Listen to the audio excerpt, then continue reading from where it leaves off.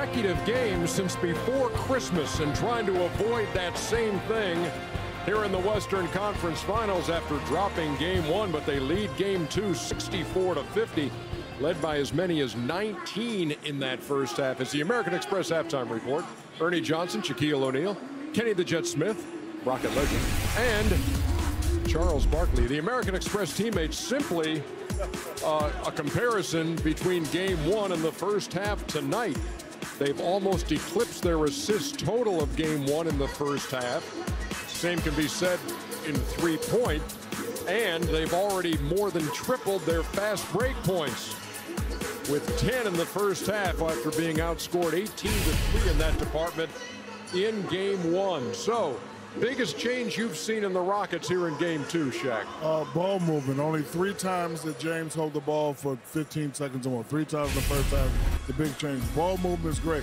Listen, if everybody touches the ball, you get in rhythm. You get in rhythm, the others will be available when you need them. Kenny know what I'm talking about. I know what I'm talking about. You move the ball.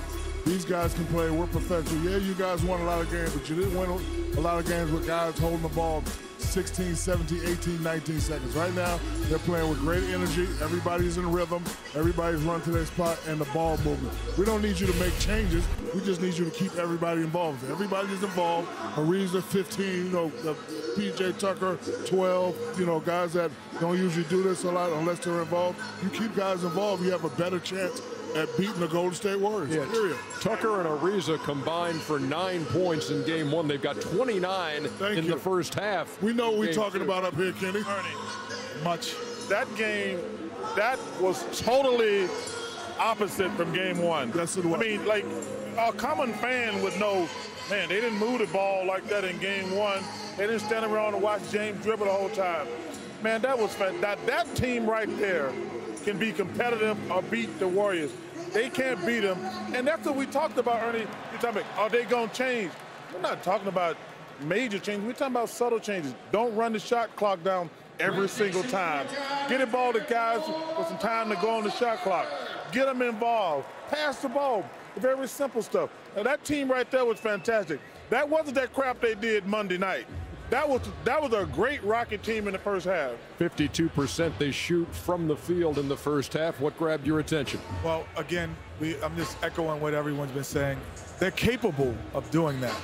But the difference was in the first two rounds, Capela had been dominating in the pick and roll. But now they decided that the pick and roll, we're going to abandon it and we're going to dribble penetration, get two feet in the lane, freeze it here. To me, this is what I had said earlier. Get two feet in the lane off the dribble. Do not worry about a pick and roll. Then find people early Look in the, the shot, shot, clock. though, Ken. Early in the shot clock. So now as we run it, he's open, but now he finds it. Pass, move again, freeze it. Let me get two feet into the paint.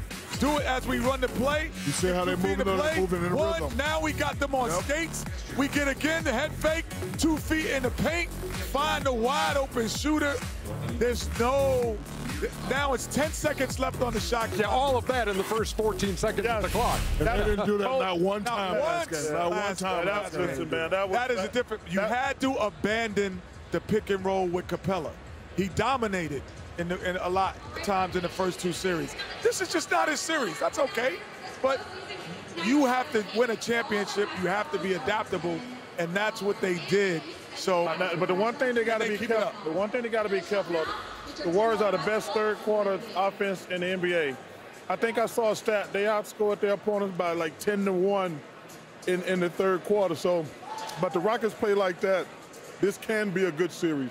But they can't revert back to that dribble. Like James Harden, it's all right for him to go one on one, but go that one play Kenny showed with 16, 18 seconds to go.